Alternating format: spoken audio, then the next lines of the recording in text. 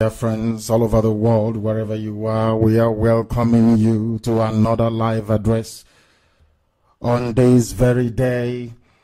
Today is the 19th day of July in the year of our Most High Elohim 2019 with the time now standing at, should I say, precisely 7 p.m. in the holy land of Biafra. I welcome each and every one of you, regardless of where you are domiciled around the world. If this is your first time of joining Radio Biafra, I welcome you especially, and as I do so, I will indulge you to also welcome those of your friends, your relatives, and your family who you think might be able to benefit from this very redeeming gospel this very evening. I say good morning, good afternoon, good evening, and good night to some of you, depending on where you are residing depending on where you are domiciled across the entire 24 time zones of this very world, where I believe very confidently that Radio Biafra is being received at this precise moment. Without further hesitation, we must proceed. My name is Nnamdi Kanu. I am the leader of the indigenous people of Biafra and by the grace of the Most High Elohim, the servant of the wonderful people of Biafra. Our job is to restore Biafra. Our mission is to enthrone justice and fairness. And we are not going to fail, not because we possess any extraordinary powers that are not gifted to other men, but because we are under divine instruction, we are under celestial supervision. And that is why Biafra will be restored in our time and in this very moment. Therefore, we must pray. We must dedicate our proceedings this very evening to the Most High, Chukwu Okike Abiama because without Chukwu Okike Abiama, we are nothing. We couldn't be where we are today.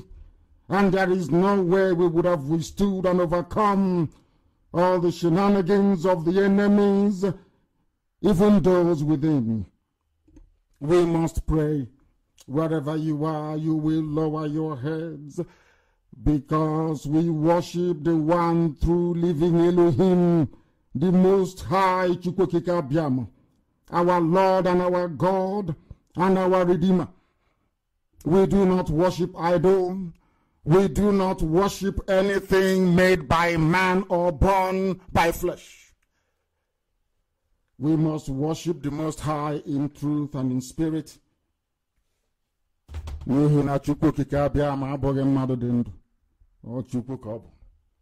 must proceed and this evening I will pray in English because we know that our audience are gathering all over the world.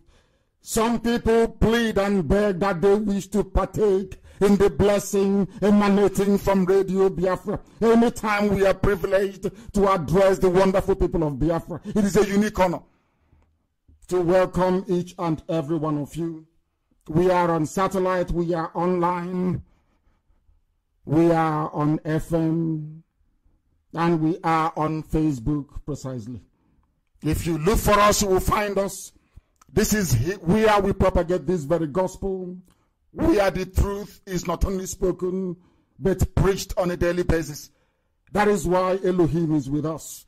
And that is why our enemies are floundering from place to place. They cannot replicate what we are doing because sometimes we don't even know what we are doing. We are being directed all the way from heaven. And that is why we are unstoppable. That is why Ruga will not take hold nor function. That is why the disintegration of the damnable zoological republic is inescapable. They cannot escape it. Therefore, we pray, God of ages, the Ancient of Days. Praised be your holy name forever. In your sight, from generation to generation, from time immemorial, nations rise and fall. We are passing through a time of peril.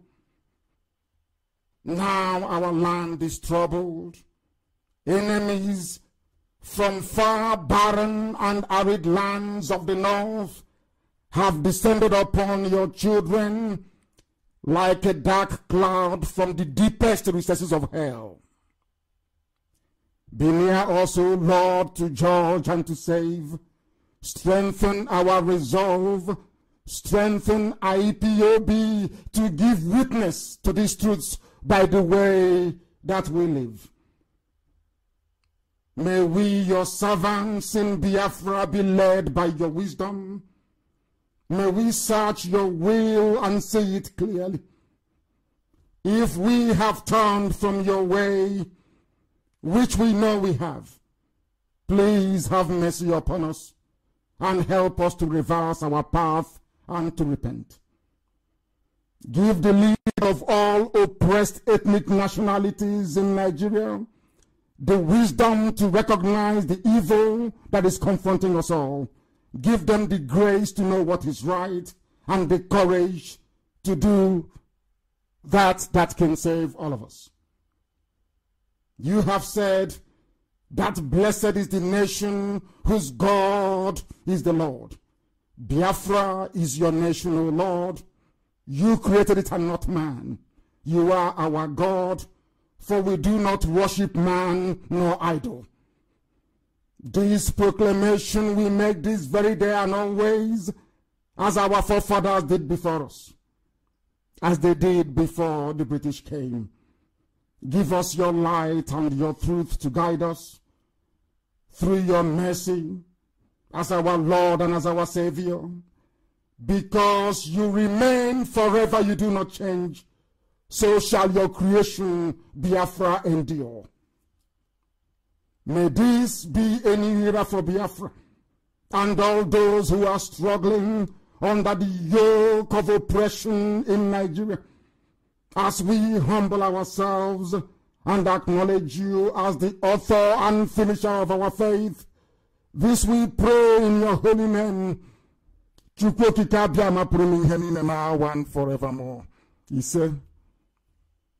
ise ise anyị eluigwe we must proceed we are live and we are direct and the whole world the entirety of humanity is listening we have been working tirelessly hard to ensure that we mobilize our people against the hordes of wickedness from the north they will never prevail.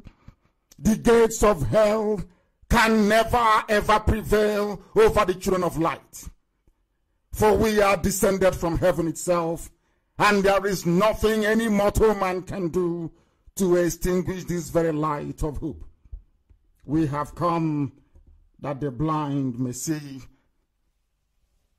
We have come that even those who cannot speak may rise up and find a voice.